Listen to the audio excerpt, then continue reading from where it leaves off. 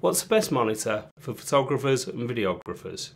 Now that's a huge question, but today I might just have an answer.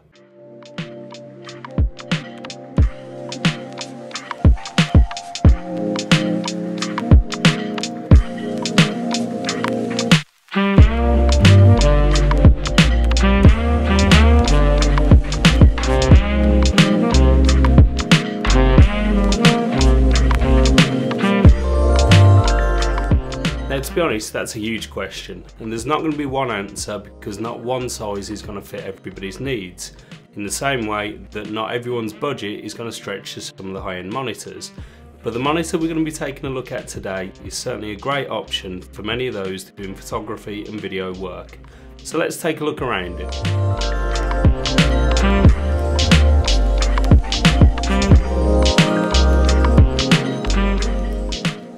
Monitor that we're looking at today is the BenQ SW271.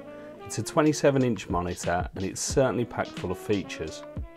The real headline grabbing features are obviously the 4K, the Ultra HD and 10-bit colour where supported. This monitor is certainly targeted at photographers and videographers alike. So let's take a closer look around the monitor itself.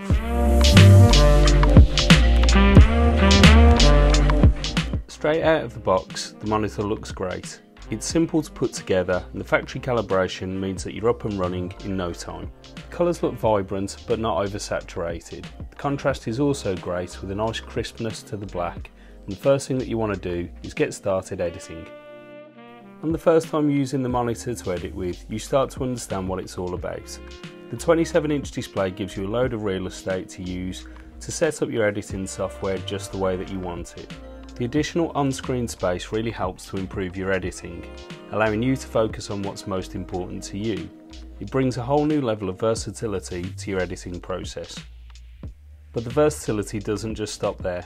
For a 27 inch panel, it's really easy to move. It can be raised to a good height and turned into a portrait aspect, which is great when shooting tethered.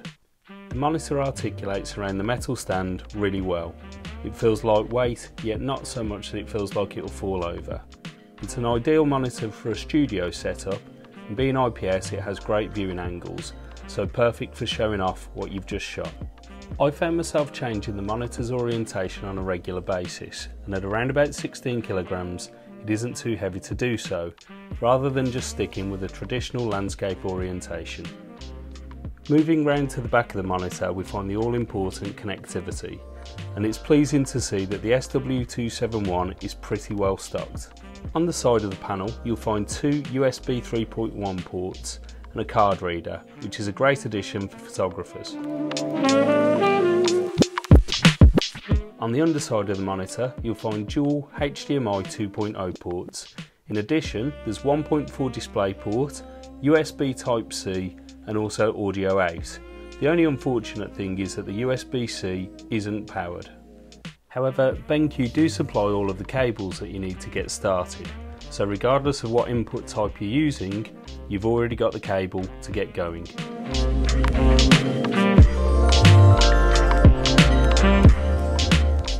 Back around at the front of the monitor, and it's pleasing to see that BenQ have kept their design clean and simple. They haven't used any distracting LEDs or metal work. They know that this monitor is aimed at professionals who need to get a job done. However, the best design feature are the super thin bezels, which give the monitor a clean and modern look and make it ideal for a dual monitor setup.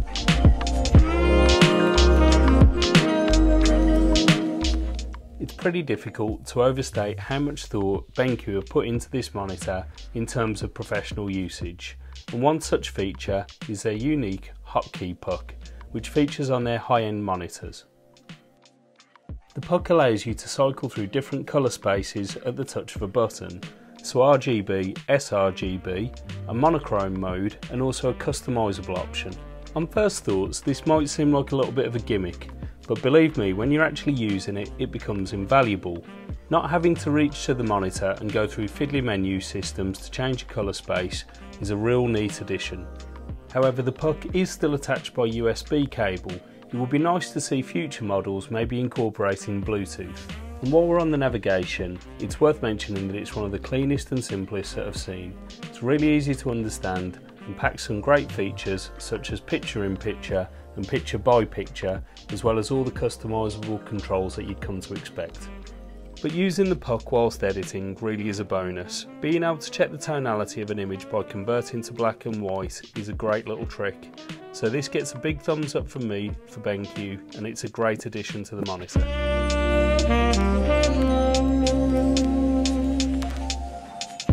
Another great addition to the monitor is the supplied hood.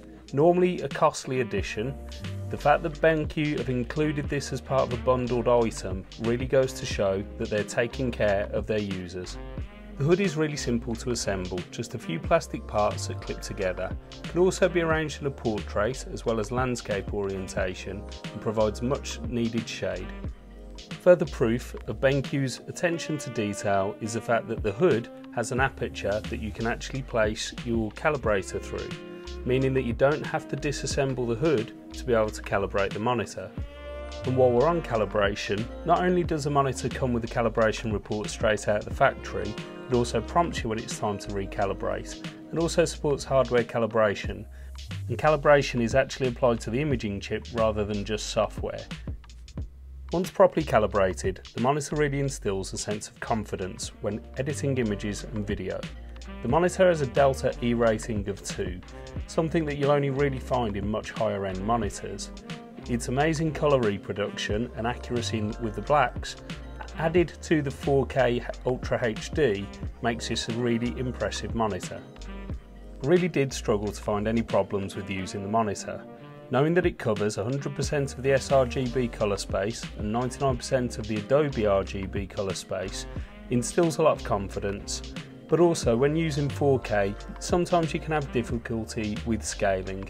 Using the MacBook Pro, this wasn't a problem and the monitor looked great in all conditions. I tend to edit in darker conditions, and using the monitor late at night for long periods of time wasn't too much of a difficulty, thanks to BenQ's iCare technology. So all in all, it looks like BenQ have made another fantastic monitor, and for videographers and photographers out there, this is a highly recommended option that I would certainly suggest that you take a look at. However, if you've managed to use one, I'd be really keen to hear your thoughts on it, so please drop a comment below.